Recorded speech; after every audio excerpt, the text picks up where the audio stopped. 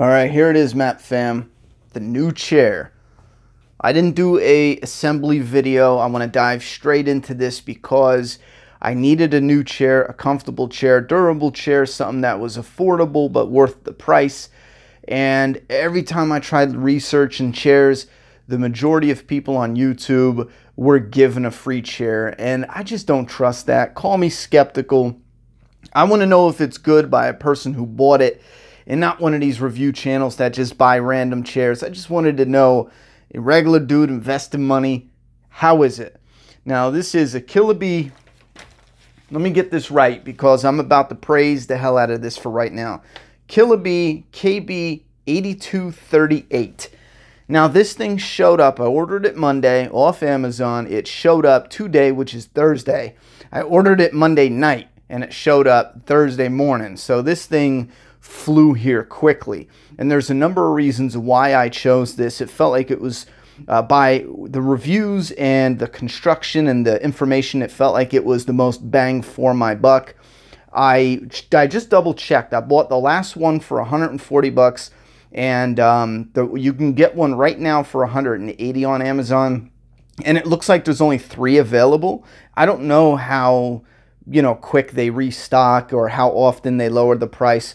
I caught it at a perfect time, I feel. Anyway, let's look at this beast because right when it showed up, I'll get you some good detail on here because right when it showed up, nice and heavy, I pulled it out of the package and I fell in love with each individual piece just based off of the look and the quality that's a, a, metal frame right there too. A lot of them have these plastic frames, and that was a big selling point. Something that was real sturdy, high reviews, uh, looked clean. I didn't want anything that was bright or flamboyant with uh, like green. I'm not against it. Originally, I was going to get a green or orange. Those are my favorite colors, but I just wanted something that was more office looking than uh, fly. You know what I'm saying? Anyhow, let's start with the top down. Obviously, it's a gaming chair, so it has that racing look to it. I I could give or take it. I really don't care about the, the look, the racing look, as long as it's comfortable. You have this headrest pillow, which is absolutely comfortable. This lumbar pillow that can be adjusted by these straps. It's easier to do it from the back you stand in the back and you raise and lower the straps. Now the straps help keep it in place. I don't like those floating ones or at least the idea of the floating ones uh, because then they just, you know, they're flopping around. This feels like it's a memory foam. It's tough but soft. It'll slowly get uh, pushed back out into position. Now the seat I was worried about when I first took it out of the package because it's got some cushion there, but it's got some cushion there. However, it it's tough. It, it was rough when I first sat down. It was real stiff. Hopefully that's better with the sound. I noticed my uh, pop filter fell off my lapel mic, so I just put it back on. Hopefully that's not too bad, but you got some nice uh, padding on the edges here. I went with one that was a little bit wider, didn't really focus heavy on that sit and tuck racing chair style just because uh, I personally don't care about that style. I never had it though. This is my first gaming chair. So I thought this would just be a little more comfortable. I like to kind of chill out. And I went with the gray and black, and it's kind of got like a suede look to it, which I really do like. I like that. And the armrests are 3D. It's not padding, but it's soft. It's not hard plastic either, as you can see. See me push down? but it's not uh, it's not hard, but it's comfortable. And it's a 3D armrest, which means you can lift it up. Sorry, the button's here to lift it up. And then you can lift it in or out. And then you can, let me put my foot here. You can push it forward or push it back. So it goes uh, front, back. That's with the focus here. It goes front, back, up, down, and then left and right, so side to side. That's what they call a 3D. There's a 2D, which I think is just up and down and front and back, but this has that side to side. Uh, you get a little wiggle to them, but I don't mind it. I don't think it's a big deal. And they are pretty pretty firm, at least right now because they're new, I would imagine. And then you have the metal base. It's black painted metal base. And you can tighten the rocker. This chair has a rocker and it has a, I guess if you want to take a nap, you can lean back on it. Uh, I was going to set the tripod up, but I think you guys get the idea. You can actually lean back like to take a nap, and you can lean back a, a, great deal. I mean, and it's so weird. When I first did it, I honestly thought I was going to fall over. It rocks as it leans back. So you get this floaty feeling like you're going to fall over. And I tell you what, at first I thought that was such and a stupid option because I got a small little area here. Uh, we're forgive the mess. We're shipping out orders, and I'm actually packing up little things because we're going to be moving in a couple months. But uh, uh, I don't have room in the new place. I'm not going to have room to lean back unless I put the chair where it is now and lean back, take a nap or something. I thought that was just stupid. However, once I leaned back, I was like, "Damn, that's comfortable." So the bottom line worth every penny. I'm in love with it ever since I started putting it together. Assembly's not easy, but if you've worked an honest job, take your time. It ain't nothing. I mean, assembly was nothing. Um, well, as far as like if you work manual labor, this assembly was a piece of cake. Anyway, the chair is comfortable. I don't, I'm not sure how it's going to be for long sits yet. I sat down in it for a little bit to get a feel and I, I think it's 10 times better than what I was using. I was using just a shitty regular office chair. This is now going to go to my daughter. Again, this was like a $35. It looks good. It's got padding here, but uh, really uncomfortable. Actually, threw a, a little pad there. A, uh, I think that's even like a patio cushion uh, just to give it a little umph. When you're sitting editing, for hours. Uh, this chair, I just never got picky with my chair. I just was like, a chair's a chair. I'll sit in whatever. Recently, at a 24 hour live stream, and I'm not even kidding. For two days later, my back had this pain. It was like I pinched a nerve. And I sat down like the next day, and just from sitting in that same position on that old chair, I immediately knew it was because I was sitting for so long and I was getting up every now and then stretching, but obviously the chairs are not meant you know for sitting for long periods of time but we got a new game coming out called days gone. I'm going to be streaming that every day for the first week for a few hours at a clip. So i wanted a, a, soft chair for that on top of all the editing i do and all the work i do at the computer. I'm sometimes i'm there for hours on end, you know, four, five, six hours. So it's fantastic to be able to edit for a few hours and then jump into a live stream for a few hours and uh, you know take breaks in between but be able to have a comfortable chair. 140 bucks. As of right now i am in love with this pick. This wasn't the first one i picked up. The first one i originally bought was a hundred dollar one and it was literally i'll save you the details but it fell through like within an hour. I was refunded. There was an error. There was no stock, and it would be back in stock in one to two months. I could have just bought it from a different seller, but as soon as I backed out of that order, I um, saw a different chair, a GT Racer, I think it was called. It was 150 bucks, I think and I was looking at that for a day, all the reviews, because it had like 2,000 or 1,000 reviews, and it was uh, 4.5 out of 5 average review. But there was so many people who had gotten the chair for a review and gave it a high review, and there was so many YouTubers who did it, and I was just like, I don't know, something's off with this. And then I ran into the Killabee chair, and the the stuff popped out a little more for me, like the metal base, the wider seat uh, the cushion, the memory foam, and a lumbar. Just certain things jumped out at me.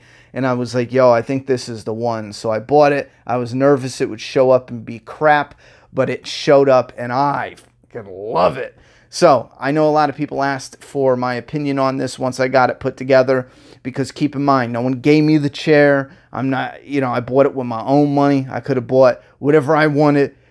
And I'm ecstatic with my purchase. I'm actually excited to sit down and work on a project and see how comfortable the chair is. It fits my desk perfectly, especially raising the armrests. I mean, I'm trying to cover as much as possible. I don't know what else I can say, but the chair is friggin' fantastic. So, if you want to recommend or if you want to wait a bit, I'm going to put this to use during our live streams, and I'm sure I'll definitely let you guys know, especially people who are subscribed to the channel, my opinions on this after sitting for a while. Uh, but yeah, I freaking love it. But we had some mail come in today, and I thought we're already recording. Let's pop open some mail. All right. I cut this open to make this quick. I don't want to dox anybody, but I uh, I received one of my comics in the mail today. Somebody gave me their address, which is undeliverable. I again, I don't want to dox them, but here's the postage that went out and it says undeliverable. This was returned back to me. If you guys are ordering one of my comics, please double, triple check your address. We have seven of these stacked in the corner. I'm trying to get in touch with people to get the correct address. I have seven people right now who did something wrong with their address and the orders are just waiting for you to answer emails. Um, but if you're in the UK, I just want to let you know your, your orders are on the way to the UK uh, to the artist to ship out. But I just want to let you know if you're in the US and uh, check your email just in case uh, you got a message from me saying, hey, uh, what's up with that address? All right, moving on. Moving on. All right, just make sure I didn't dox him. Nope, that's my address. Bang. So, Got a note. Bam. Hey, Ronny. Hope. Wait, here's a little appreciation for all that you do for the Map fam. The shirt was only available in extra large, but the sizes tend to run big. Let's look at this and then I'll read the... Oh, ho, ho, what is that? Is that uh, Dutch and the Predator? Wait. What's in his mouth? What's in his mouth, bro? Dutch has a weird face on. Storehole.com. I wonder what those pins are. I like the color. Get to the chop. Wait. Get to the Whopper. Make it a Whopper. It's a Burger King shirt. Oh my God. What? Well, I guess this is a good time to show off my The Walking Dead mouse pad. it's actually for credit cards for a comic store, but my comic shop is awesome and they gave me that. A store hole, looks like a sticker. We got Gross Guts Gang. Alright, wait a minute. What is going on with my focus? Uh, oh my god, it's like Super Mario, but he's puking. Oh, what is that? It's a little Game Boy. And then top secret.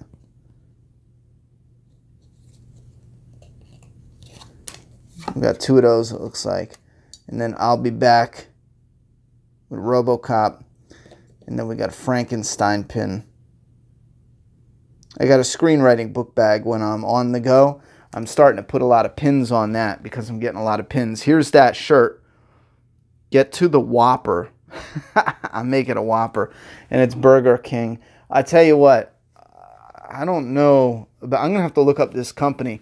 Uh, I never thought of a Burger King shirt with uh, Predator on it, but maybe it's one of those mock, you know what I'm saying, companies where they combine franchises. I like that. I really dig the color. I like the goofiness on that. I really dig that. It looks like a 1970s shirt, don't it? Got this retro look to it. I dig that a lot.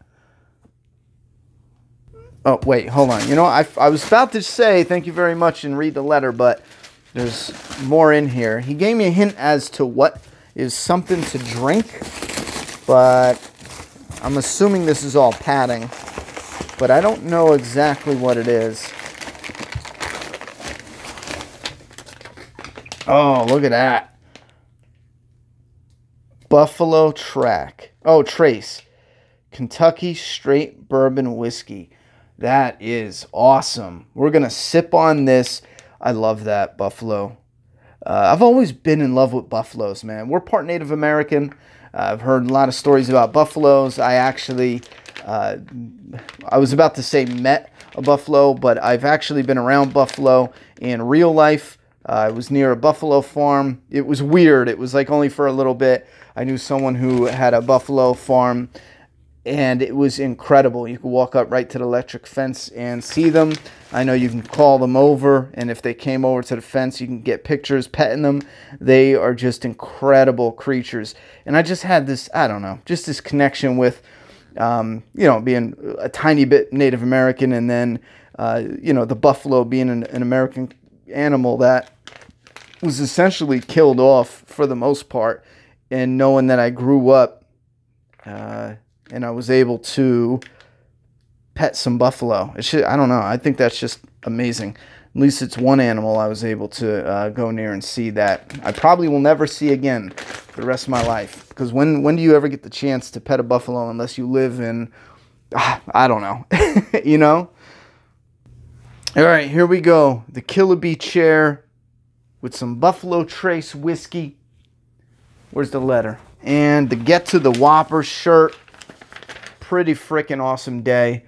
Anyway, this continues, this letter continues. Um, the shirt was only available in extra large, but the size uh, runs a little big for wash care.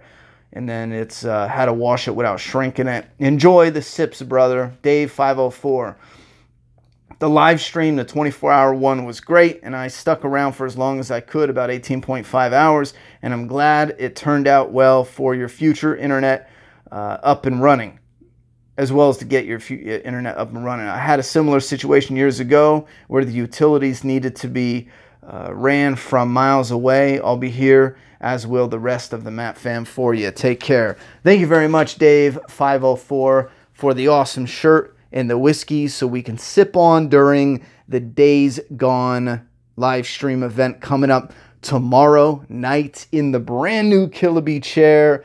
This is going to be awesome. Hell, I might even wear the brand new shirt. This type of shirt, I, will let you know on a little secret. These type of shirts, I'll toss them on right before I go onto a live stream or record a video.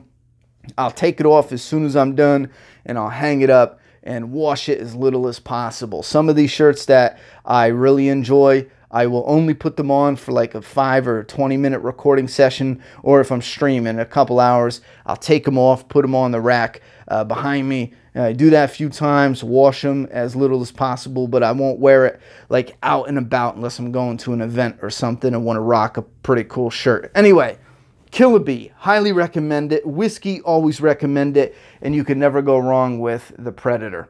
All right, love you guys. Thanks for the support. Hope you appreciated a look at a chair that's actually comfortable from somebody who wasn't gifted it so you can have an honest review. Let me know if this enticed you to pick up a Killabee gaming chair. And do not forget, it's uh, a KB8238.